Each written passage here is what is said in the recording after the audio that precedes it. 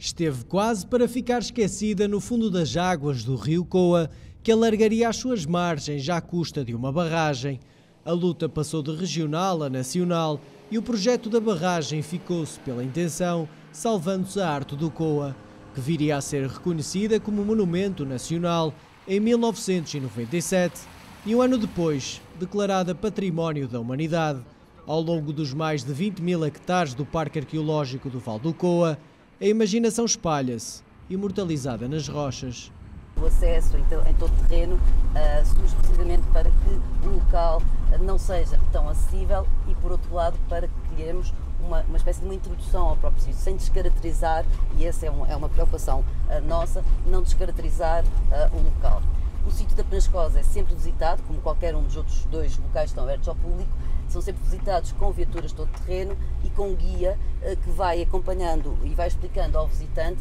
não só a contextualização uh, da região, mas também uh, o que é o Paleolítico Superior e depois faz com um, uma detalhada explicação o que são as gravuras e mostra as gravuras do peste.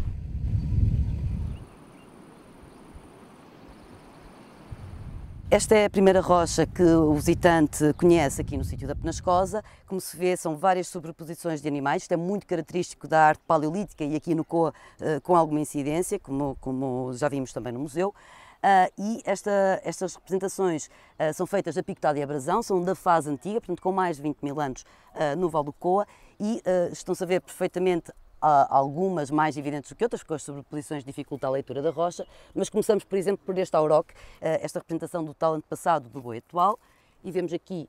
a queixada, o focinho, as fossas nasais, o chanfro, o dorso, aqui está um pouco à sombra perto, na cauda, a pata traseira ventre, pata dianteira e linha do peito. Volta aqui ao focinho.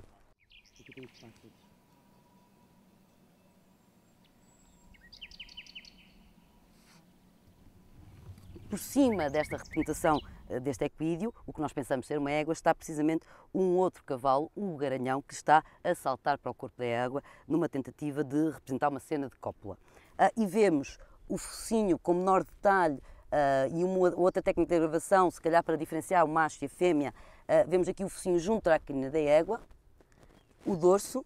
as patas ainda estão encolhidas, portanto ele está numa posição de salto ainda de preparação, e vemos ainda o ventre uh, que cruza com o dorso no salto cá se tornassem transparentes.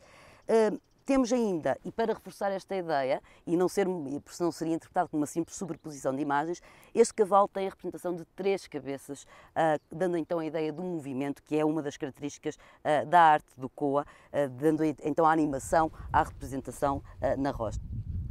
esta ideia de sobrepor uh, no mesmo painel várias representações, como é o caso da Rocha da Quinta da Barca, que chamamos a Rocha de Spaghetti, ou a Rocha de Fariseu com 96 motivos gravados, isso percebe-se que é intencional. Muito mais quando olhamos para painéis como este, que está ao lado uh, de, uma rocha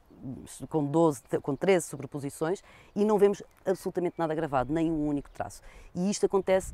consequentemente, continuamente no, no, no Val do Coa. É muito típico também, é muito característico da arte paleolítica europeia, mas de facto aqui no Coa percebe-se que há um certo exagero até uh, na, na, sobreposição contínua uh, dos painéis.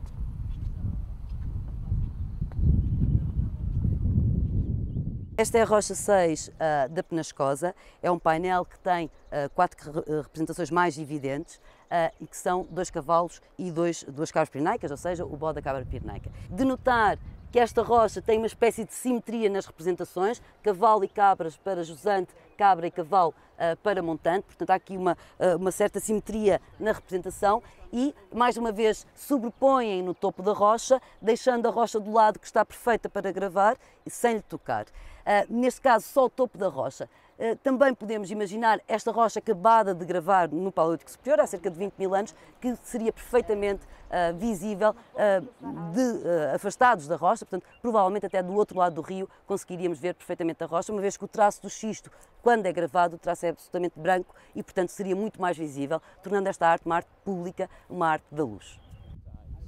Sometimes some